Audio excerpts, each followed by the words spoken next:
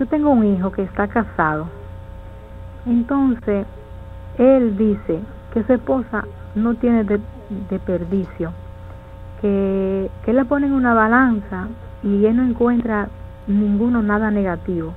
Pero entonces está enamorado de otra, que, que esa es la que lo hace, él dice que, que con esa es que él se siente bien, hasta hablando y todo.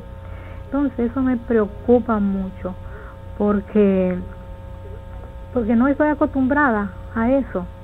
Y, pero él no quiere ni dejar a esta ni dejar a la otra.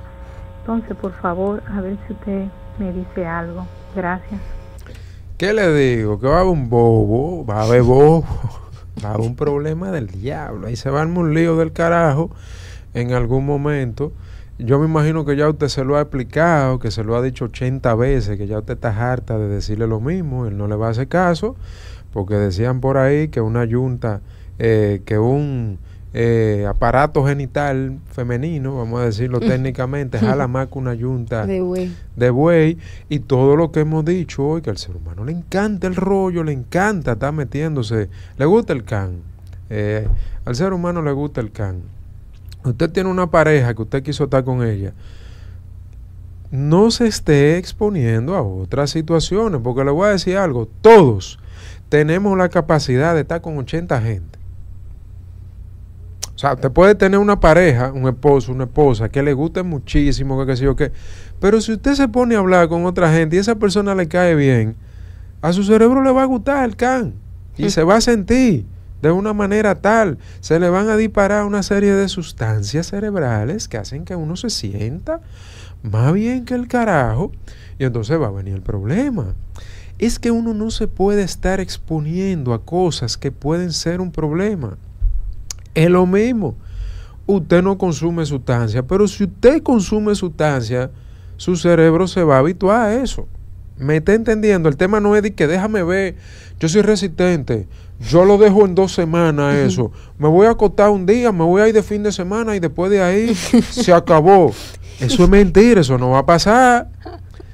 Mientras más usted le da una droga al cuerpo, más se la pide, viene el tema de la tolerancia.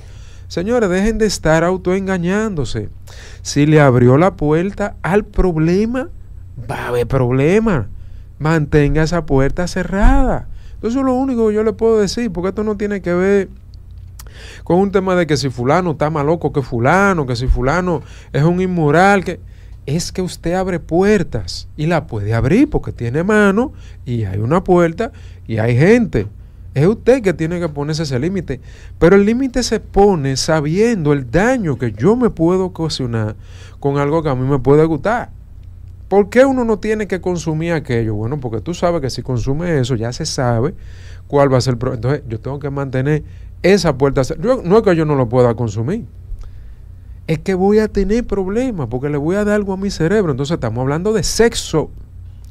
Aquí estamos hablando de sexo, que cada vez que tú teniendo una relación de pareja, eh, de pareja formal, te da el permiso de estar acotándote con otra gente, tú lo que le estás dando es placer a tu cerebro, le estás dando gusto a tu cerebro y a tu cerebro le gusta, coge gusto, le gusta el placer. Entonces, si usted se pone a hacer eso, ¿qué usted cree que va a pasar?